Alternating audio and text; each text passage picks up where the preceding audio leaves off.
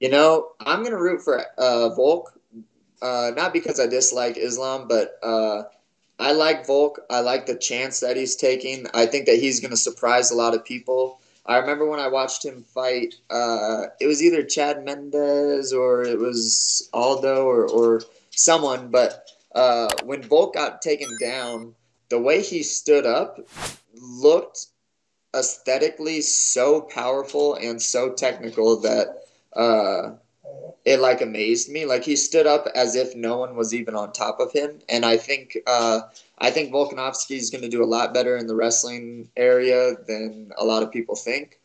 Um, I don't think Islam's going to have that much success holding him down as people think. I think that he'll he'll he'll definitely win some rounds. It's not like it's going to be an ass whooping, but I think Volk is going to do a lot better than uh, I think people are anticipating.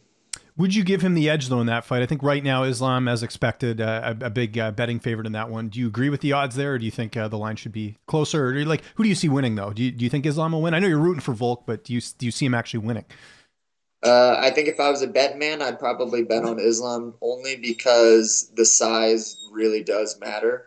Uh, Islam does cut a lot of weight. Uh, I think that he has really good coaches, and I think that uh, he's he really knows what he's doing. Uh, he he has his path to victory, and he does a good job. And he's physical and big enough uh, in order to do it. So I think just because of the weight, if they were in the same weight class, I would say Volk. But because it's a weight class difference, I I, I would probably teeter towards uh, Islam.